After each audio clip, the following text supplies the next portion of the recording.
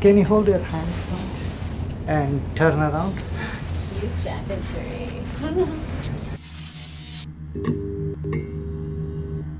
So AR, VR, MR, and something I'm learning about RR, robotics. Yeah.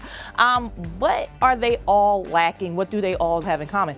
A lack of touch. That is about to change now with the Holosuit, which I am wearing a part of. Yes, I know it looks pretty damn snazzy.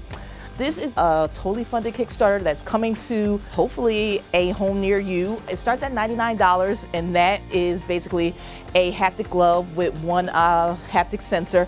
But you can go full body, and I do mean full body, pants, jacket, gloves, 36 sensors, six buttons, Bluetooth, Wi-Fi, eye tracking, the whole nine for $15.99. So basically what this jacket does as it is right now is it's tracking my movement a little bit in this yoga thing. The adult in me is like, yes, I want to play all the games, but this actually has some practical functions.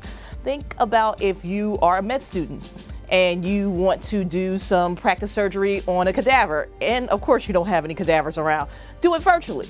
You do this, you put on the haptic glove, you grab your scalpel, you grab your forceps, and you go to work. Or with the robot over there, when uh, it goes into production, think about being able to save lives. Think about those kids that were stuck in that cave. Now you can pilot a robot on dry land, send the robot in to do all the dangerous work and save the day. So this has a lot of practical um, applications, but I do want to see this in game form. I do want to play cricket. I want to go sword fighting. I want to go chasing dragons. The opportunities are surreal. This even works with us with your uh, smartphone. In short, this is the Holosuit. Uh, it starts at $99. Full body suit, $15.99. I'm Sherri L. Smith for Tom's Guide, Tom's Hardware, and Laptop Magazine. And this is Harsha Kikeria from Holosuit.